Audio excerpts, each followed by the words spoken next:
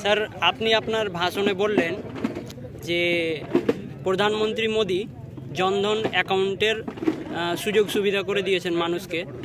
তো এটা বলেন যে জনধন অ্যাকাউন্টে মানুষের কি সুযোগ সুবিধা পেয়েছে কিন্তু কারণ ওরা তো বলেছিল কি যে পনেরো লাখ টাকা করে অ্যাকাউন্টে আসবে। মানুষও ভেবেছিল কি যে হয়তো আসবে বলে অ্যাকাউন্ট খুলেছিল। তো ওটা তো আসলো না। মানে এর আগে দু হাজার চোদ্দোর আগে সাধারণ মানুষ কোনোদিন ব্যাংকের মুখে পারেনি। কারণ ব্যাংকে ঢুকলে তারা খাতা খুলতে পারতো না ব্যাংকে। প্রধানমন্ত্রী যখন ক্ষমতা আসলো দেখল প্রত্যেকেরই একটা খাতার দরকার আছে অ্যাকাউন্ট দরকার আছে। সেই অ্যাকাউন্টটা সে জনধন অ্যাকাউন্ট নামে ফ্রি অ্যাকাউন্ট করে দিল সেখানে প্রত্যেককেই অ্যাকাউন্ট খুলতে পেল। এবং সেই অ্যাকাউন্টের সুবি- সুযোগ সুবিধা তারা আস্তে আস্তে পাচ্ছে। কারণ এখন একটা যে কোনো জায়গায় যাবেন প্রধানমন্ত্রী আবাস যোজনার থেকে বলুন লেবার কার্ডের থেকে বলুন প্রত্যেকটা কিন্তু অ্যাকাউন্টে টাকাটা ঢুকছে। তো এটা আগে ছিল না মানুষের। তখন কি হতো? ইসের মাধ্যমে সরাসরি দিত।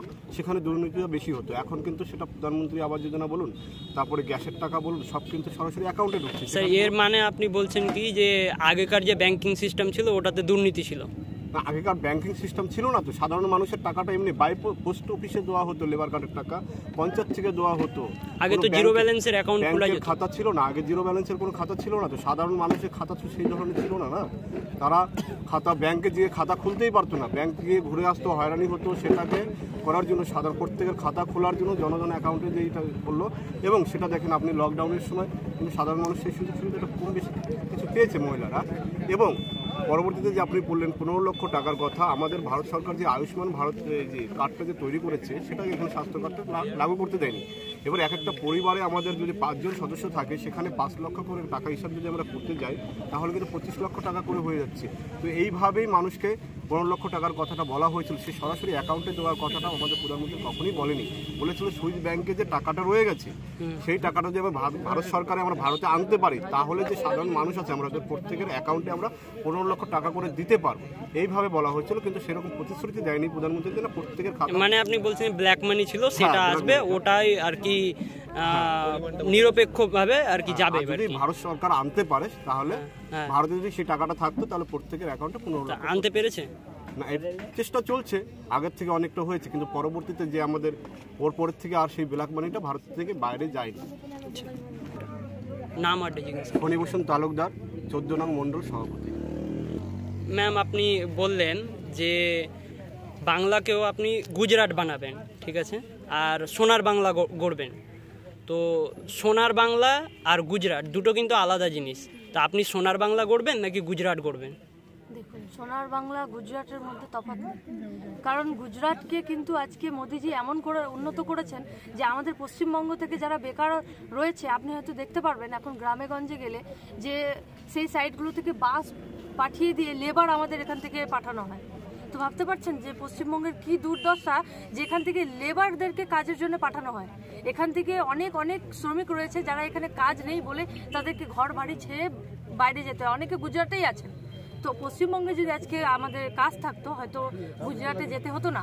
তো এই জন্য আমরা গুজরাটকে গুজ- ইয়ে পশ্চিমবঙ্গকে গুজরাট বা সোনার বাংলাই বলব। ম্যাম যেহেতু লেবার্সদের কথা আসছে তো বিহারেও কিন্তু বিজেপির সরকার রয়েছে মানে অ্যালায়েন্সের সরকার রয়েছে তো সেখান থেকেও কিন্তু বাইরে অনেক লেবার আর কি খাটতে যায়। তো সেখানেও তো সেখানে যেই পরিমাণে পশ্চিমবঙ্গ থেকে যায় অন্যান্য রাজ্য থেকে সেই পরিমাণে যায় না। আচ্ছা, সেখানেই দেখবেন যে না বিহারের যে কথা বললেন আপনি সেখানে অনেক কাজই রয়েছে কিন্তু আমাদের পশ্চিমবঙ্গে কোনো কাজই নেই। না কোনো শিল্প রয়েছে না কোনো চাকরি রয়েছে। যারা শিক্ষিত হয়ে বসে আছে তারা আজকে তাদের শিক্ষার যে যোগ্যতা তারা নিয়ে বাড়িতেই বসে আছে। তাদের কোনো চাকরি নেই। চাকুলিয়ার জন্য কি ভেবে রেখেছেন? চাকুলিয়াকে চাকুলিয়া আমাদের বিজেপি সরকার যদি আসে আমাদের এখানে সবচেয়ে যে দরকার যে বিষয় যে একটা কলেজ সেই কলেজ আমরা গড়ব। আর আমাদের রাস্তাঘাটের খুবই দুর্দশা অবস- অবস্থা সেই রাস্তাঘাটগুলো আমরা ঠিক করব ধন্যবাদ। আপনার নামটা এটা জিজ্ঞেস করুন। আমার নাম কিরণ মাহাতো সাহা উত্তর দিনাজপুর জেলা সম্পাদিকা।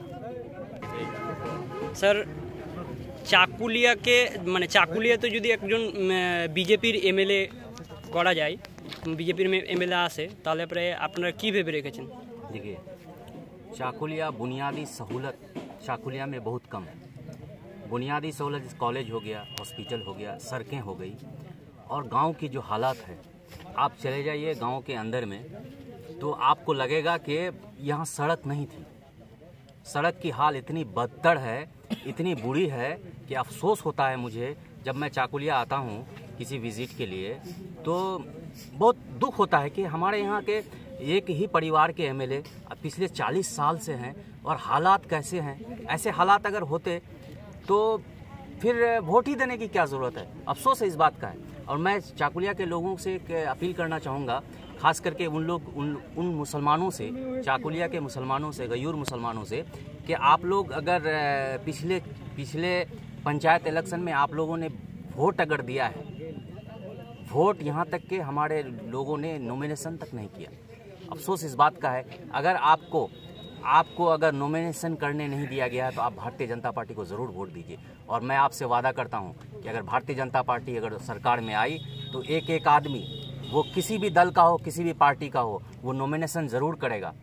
और वो वोट ज़रूर देने जाएगा अपने वोट का अधिकार ज़रूर उसको मिलेगा ऐसे जैसे अब आज के डेट में अ, तृणमूल कांग्रेस की सरकार है आम अवाम को वोट तक देने जाने नहीं देती है और अ, गाँव में कैद कर लिया जाता है वोटर्स को ऐसे लोगों को इस बार हम लोग 2021 में जरूर सबक सिखाएंगे भारतीय जनता पार्टी का एक एक कार्यकर्ता इसके लिए कटिबद्ध है স্যার যেহেতু কলেজের প্রশ্নটা করলেন এখানে এমএলএকেও প্রশ্ন করা হয়েছে যে কলেজের বিষয়ে উনি ওনার কি রায় তো উনিও এই প্রশ্নটা এড়িয়ে যায় আর তৃণমূলের নেতাদেরকে প্রশ্ন করা হলে তারা বলে কি যে না আমাদের যদি এমএলএ যদি চাকুলিয়াতে আসে তাহলে পরে আমরা সব প্রথম যেটা কাজ করব সেটা হচ্ছে একটা কলেজ নিয়ে আসবো দেখ- আপনারাও স্যার এ, সেটাই দাবি করছেন কিন্তু কেউ যে আগে বেড়ে সেটা কাজটা করবে এবং তারপরে ভোটের দাবি করবে সেটা কিন্তু কেউ করছে না देखिए सबसे पहले तो ग्वालपोखर के एमएलए मंत्री को मैं ये यहाँ से बताना चाहता हूँ चाहता हूँ कि वो पहले अपने ग्वालपोखर में एक कॉलेज बना दें फिर वो चाकुलिया की बात करें ग्वालपोखर के मंत्री हैं और जिनको वोट दिया गया था सिर्फ़ इसलिए कि वो ग्वालपोखर के विपरीत में विपरीत में ग्वालपोखर के वो एक डिग्री कॉलेज करेंगे लेकिन आज तक हुआ नहीं। तो वो चाकुलिया में क्या करेंगे? और मैं आपको बताऊँ आप बिहार आप, आप बिहार की बात कर रहे थे।